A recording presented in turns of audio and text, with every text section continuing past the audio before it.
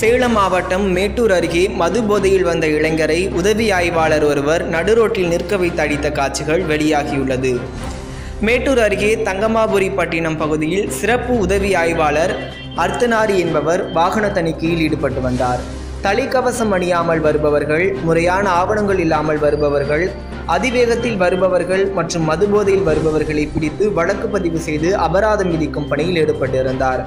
அப்பொழுது மதுபோதையில் வந்த ஒரு இளைஞரை பிடித்து நடுரோட்டில் நிற்க வைத்து அடித்த காவலர் தகாத வார்த்தைகளால் பேசி அவமானப்படுத்தியுள்ளார். இந்த காட்சியை சாலையோரம் நின்று வேடிக்கை பார்த்த நபர் ஒருவர் இந்த வீடியோவை பதிவு செய்து சமூக வலைதளங்களில் பதிவேற்றம் செய்துள்ளார். இந்த வீடியோ சமூக வலைத்தளங்களில் வைரலாக பரவி வருகிறது. இது போன்று அநாகரிகமாக நடந்து கொண்ட சிறப்பு உதவி காவல் காவல் ஆய்வாளரின் செயலை பலர் கண்டித்து வருகின்றனர். மனித மாண்புகளை கடைபிடிக்க வேண்டிய காவல்துறை அதிகாரிகளை இது போன்று எல்லை மீறுவதை உயர் அதிகாரிகள் தடுத்து நிறுத்த வேண்டும் என்பதே அனைவரின் கோரிக்கையாக உள்ளது. சேலம் மாவட்டம் செய்தியாளர் சக்திவேல்.